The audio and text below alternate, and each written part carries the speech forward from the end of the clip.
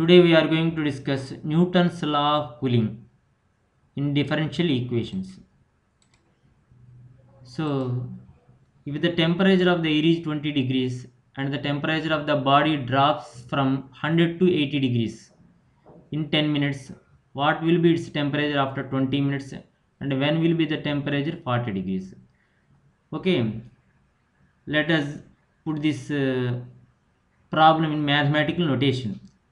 So what he is saying is that if the temperature of the air is 20 degrees, that means theta naught is 20 degrees. Okay, and the temperature of the body drops from 100 degrees to 80 degrees. So initially it is 100 degrees. That means at t is equal to 0, theta is equal to 100 degrees. Okay, next it became 80 degrees after 10 minutes. So theta became 80 degrees after 10 minutes. T is equal to 10. Okay. So what will be its temperature after 20 minutes? So T is equal to 20. What is the temperature? He is asking. And next question. When will be the temperature 40 degrees? So when will be the temperature 40 degrees? If theta is equal to 40, what is the time we have to find out? So here we have come across the two questions. If T is equal to 20, what is the temperature? If theta is equal to 40 degrees, what is the time he is asking? So as usual, we have the Newton's law of cooling formula d theta by dt is equal to minus k times theta minus theta naught. So if you do the variable separable method, 1 by theta minus theta naught d theta is equal to minus k into dt. So 1 by that is nothing in place of theta naught you substitute 20. 1 by theta minus 20 theta is equal to minus k dt. Integrating we are going to get log theta minus 20 is equal to minus kt plus c. Now we consider this equation, first equation in substitute in the this equation. You are going to get theta is equal to 100, t is equal to 0.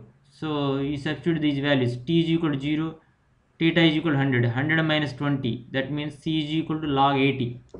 Now what we have to do is this c is equal to log 80 is substitute in the first equation. What happens? This minus kt you move to the left hand side. Log theta minus 20 you move to the right hand side and it will become minus log theta minus 20. Okay. So this is in place of c I have written log 80. So you come across with like this. Okay.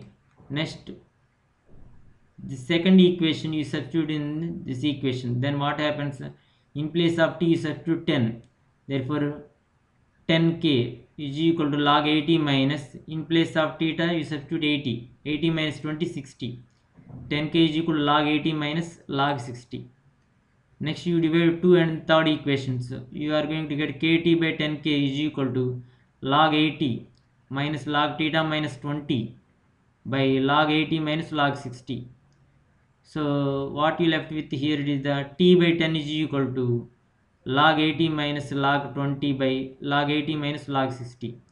So what we are doing is uh, substituting fourth equation in main 4.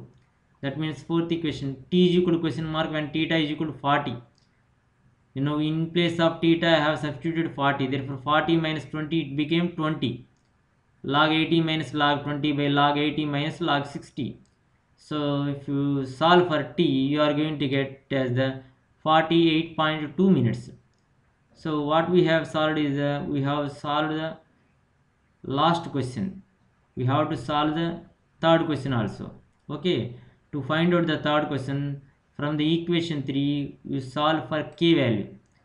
So k is equal nothing but 1 by 10, 10 log 4 by 3 next what you have to do is the this substitute this k value in the second equation this one k is equal to we have some value you substitute this value in this second equation. Then what happens? 1 by 10 into log 4 by 3 into t is equal to log 80 minus log theta minus 20 okay.